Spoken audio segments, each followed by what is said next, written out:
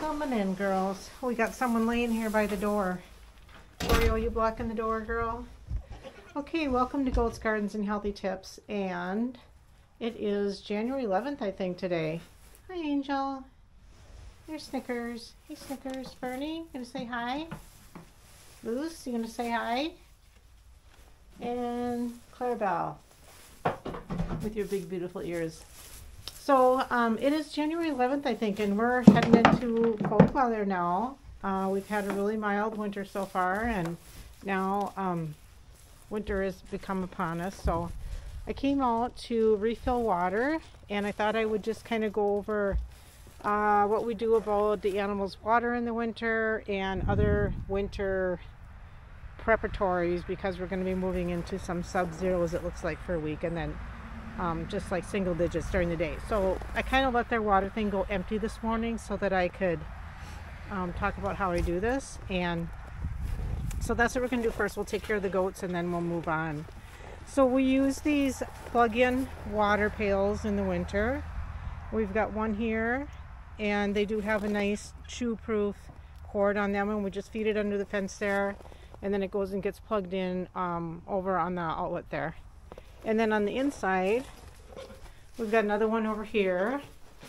And uh, this one, got it hung up on the wall.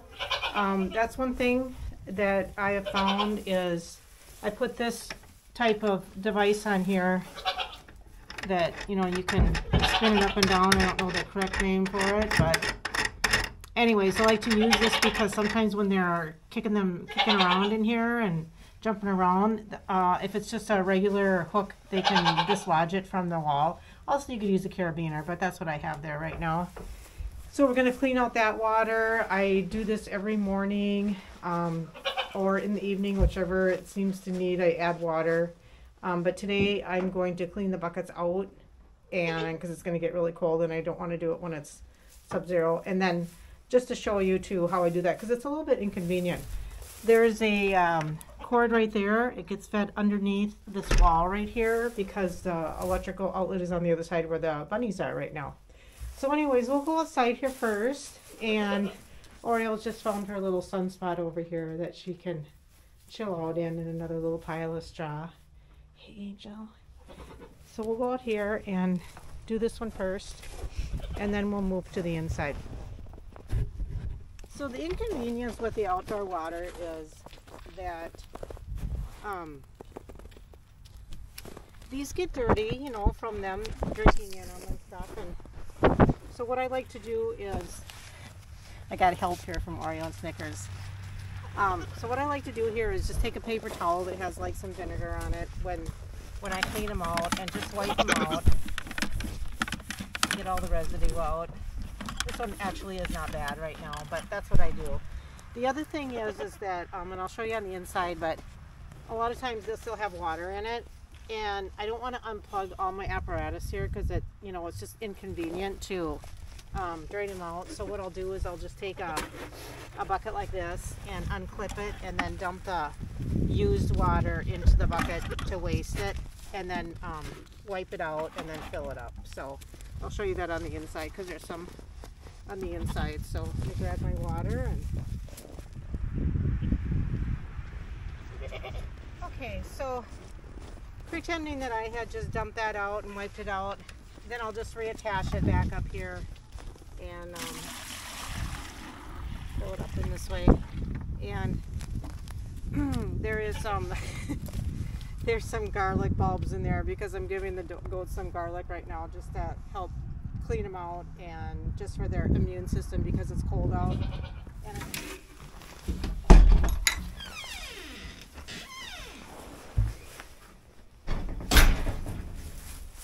Okay, so the inside here, um, same thing. This one's got some water in it, but I see that somebody got a poo-poo in there, which happens. I always watch for that. I don't want to leave that in there because that could be,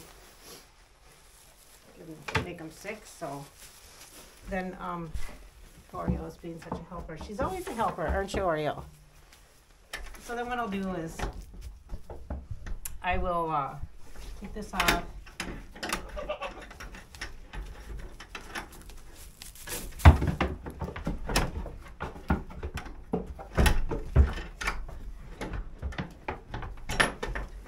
off and then um, just dump the water in here.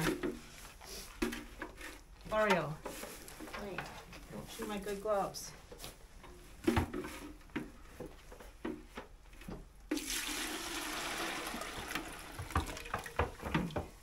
Okay. And smells garlicky. Wipe it out with a paper towel again.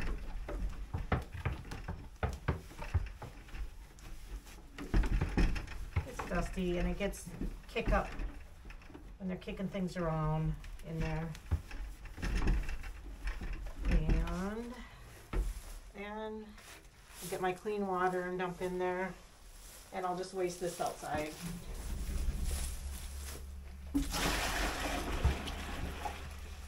Okay, so nice clean water in there.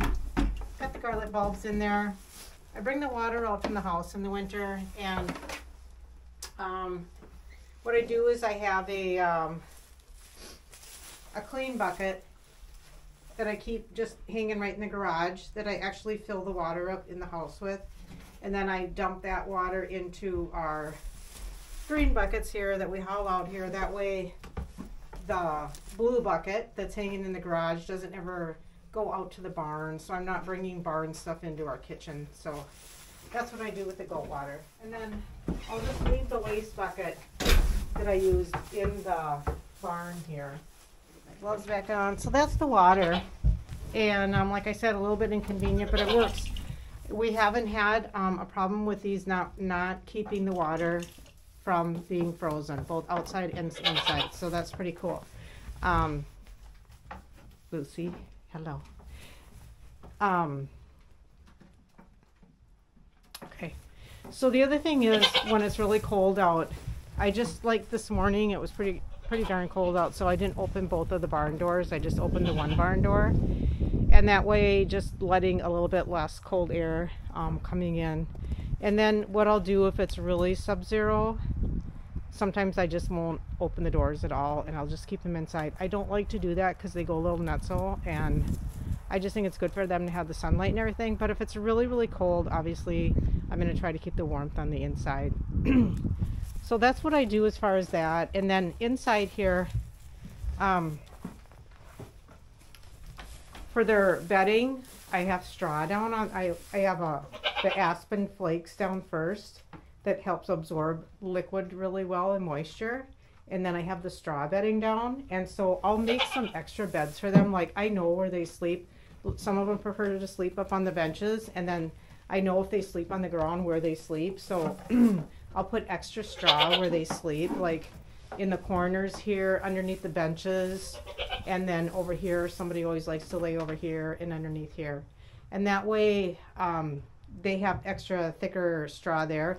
But I don't like put thick straw in the middle here because that's where they seem to stand and do their um, their pottying and pooping. And that way, I'm constantly every day scraping that up and throwing and then covering over again. But that doesn't um, lead to so much waste from right in the middle there because that's kind of just their standing area. And if they're going to lay down, they go to these more sheltered areas. So um, I will give them more bedding as needed, but I have I think I have enough down right now for for them to lay in. Make sure that their mineral and baking soda is filled so that they're getting good minerals for um, good nutrition. Why you know the weather always takes more of a toll on the body, so we have three mineral soda containers, one there, and then um, underneath the bench here. I just refilled these yesterday, gave them fresh. I try to freshen them up once a week because when they get old and stale and they get kind of damp, then they don't like them. And one under there. And the reason I have them under the bench is because it seems like no matter where I put them, they poop in them. They get poop in them. And I've tried hanging them in many different places. This is the one that I have hanging now. It seems to be working out okay. Um, but I started putting them underneath there, and that's the cleanest I've been able to keep them. So that's what I do with them. And I like to have them in a container where I can totally empty them out and clean them out. So that is our um, mineral and um, water setup and extra bedding setup. Um, let's see. So that's the goatees pretty much. Um, I'm going to go in here. Excuse me, Oreo. Hey there, girl. Okay, this is our little hallway area. Um, I like to just keep a little bit of hay here just in case I need it for something. But this is our little container I have that I give them the, you know, they each get just a little handful of grain in their each individual bowl at night when I bring them in. And it's empty now. I emptied it last night. So I'm going to fill that up so that I don't have to mess with that when it's so cold out. And then this, I put sunflower, black sunflower seeds in that I give them about probably three times a week. I'll give them a little bit of that on their food. It's good copper, and I'm going to fill that up as well. Um, this is for the rabbits. Their their water I keep in here, which is going to be useless pretty soon because it's probably going to be too cold, and I'll have to haul it from every day out from the house. But normally I keep that filled so I can just pour it from there. And um, I brought a radio out. I think I'm going to put a radio up for them because that way if um, it's where they're stuck in here all the time. Then I put the radio on with some soothing music, and that just, you know, helps to calm everybody when they got to be stuck inside. So I'm going to fill those food things up now, and then we'll get the goaties um, ready for the cold weather. Okay, so what I do with their food mix here is, um, and this was suggested to me by our veterinarian, um, I mix it. This is their feed. It's Nature's Grown um, Organics feed. And Nature's Grown Organics um, oats. So what I end up doing is I mix them half and half. So the feed is a combination goat feed and I'll put um, half of each and just kind of layer it in here.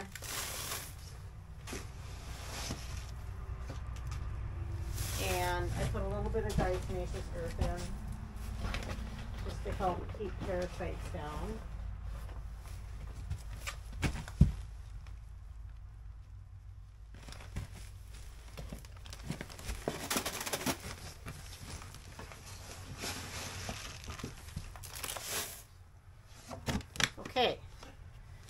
So I keep the food locked in these snap containers, all the food, including the chicken food, um, because I don't want to have a problem like with mice coming in. And I think once they find it, then it, it'll become their home. So that's worked out pretty good.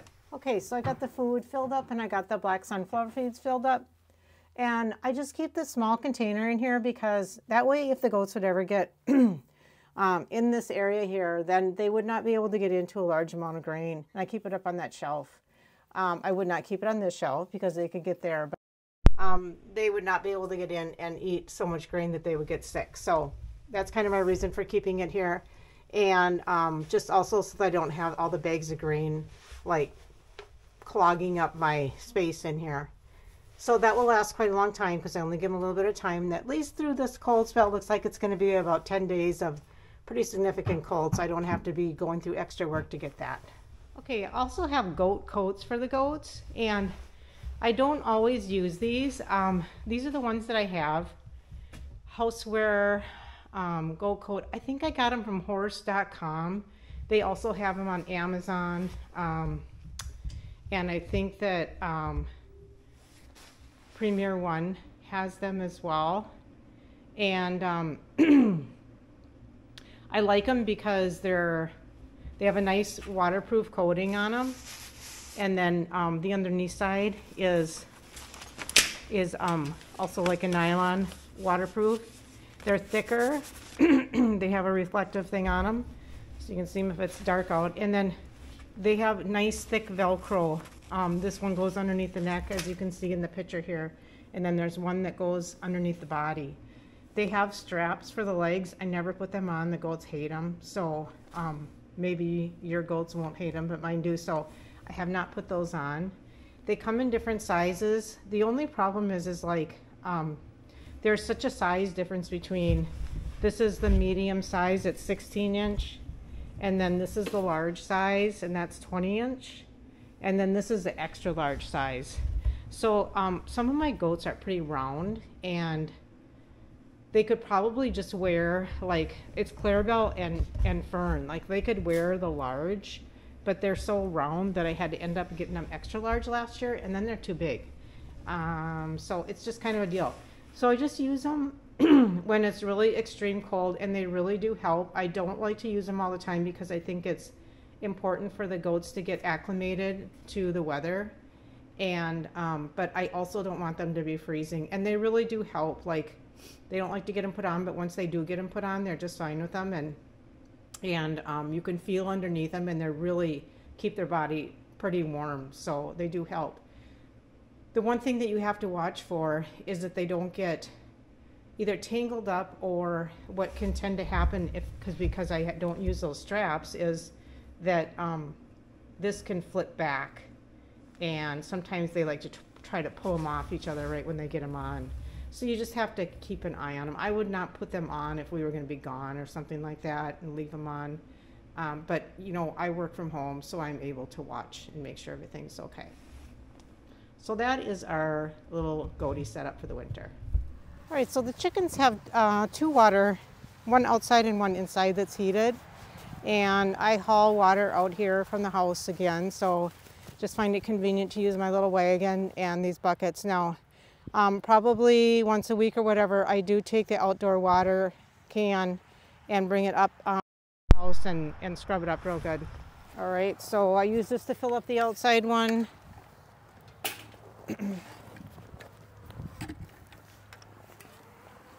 hey, chicky girls.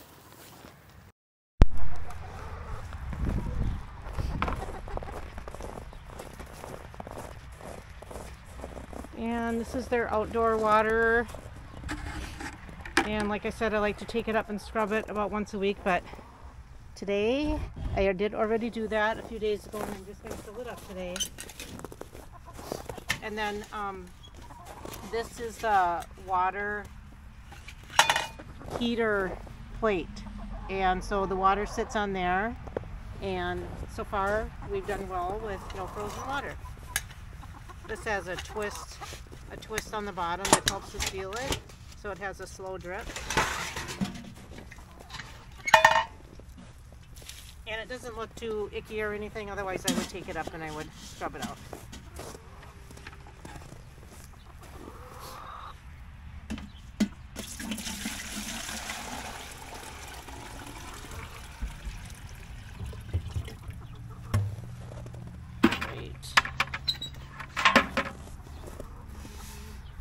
Out pretty fast, so you want to seal it. And I should have got the other water bucket in, so I'm going to grab the other water bucket and put some more in there. This is my first winter having chickens, and I'm just so surprised these girls are outside yet. I'm, I'm thinking and hoping that they know when they need to go in.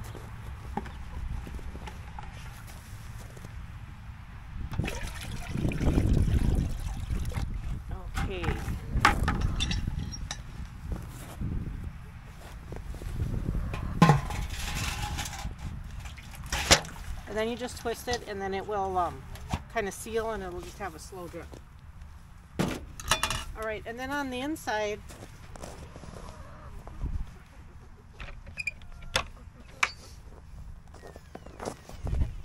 on the inside we have this water. I'm not going to change this one out right now because it's still got water in it. And I mix some, some electrolyte, a little apple cider vinegar, like a couple tablespoons for that container and some probiotic in the appropriate amounts. I believe that's a three gallon container. And I usually fill it up about two gallons because I have to carry it out here like upside down and it splashes around. So I learned the hard way that I don't want to fill it up all the way. So I take that in the house, scrub it up, fill the water in, put the probiotic and the apple cider vinegar and vinegar in it. Apple cider vinegar, I'm sorry, and um, probiotic and electrolyte in it. And I'm doing that just to, to like help them stay healthy this winter. And then um, I will um, bring those pieces out and then you just have to keep it upside down, put the bottom plate on, whip it around and set it on here. You get a little bit of spillage, but it's okay. And then that plugs in right here.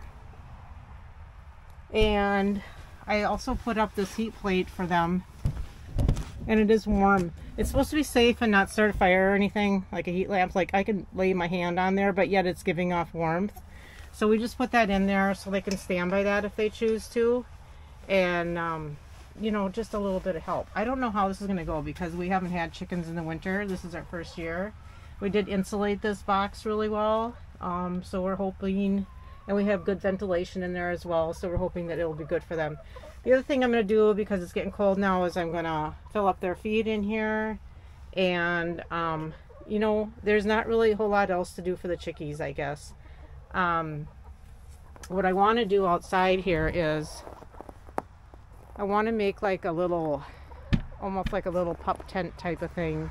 Um, just a frame that has mylar plastic on each side, like a little tent to put in here, and then um, put a bunch of straw on the bottom, and that way they can go in there if it's chilly or winter and still pick around. Look at them.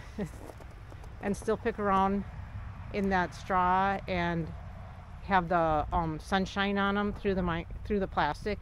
I said mylar. I didn't really mean mylar. I meant like plastic, and it would be kind of like a little greenhouse type of thing. So I did put the straw in here from the waste from the goat straw, and they really like to pick around in there. So I put some um, chicken scratch in there, and I get the same brand of organics chicken scratch as I do the goat food and the organics chicken layer feed. So it's all the same brand. It seems to be doing really well. They've everybody's been healthy. The chickens are still laying eggs uh, this winter yet.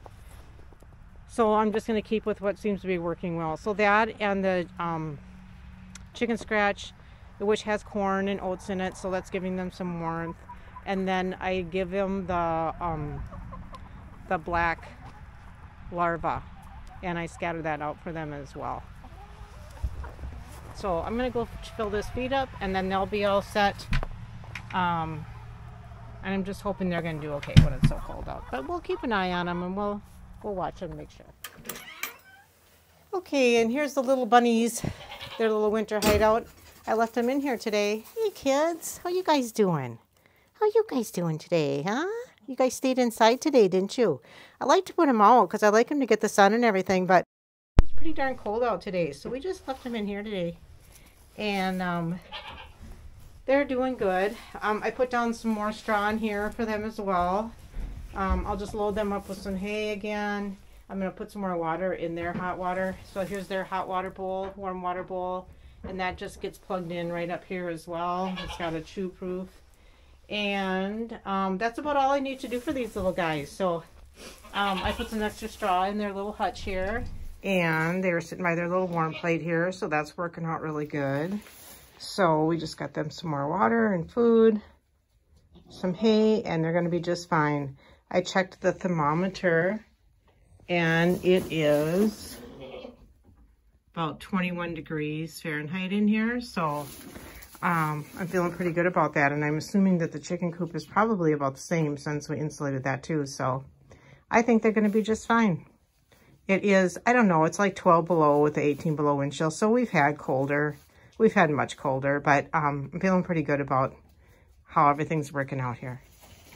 I just wanted to add, um, for those of you who live in cold climates like we do, and if you're just planning on building your facility for your goats, I'm really glad that we insulated. It was a lot more work and it was more expense, but this is why, because it's still 21 degrees in here and it's um, double digit minus outside.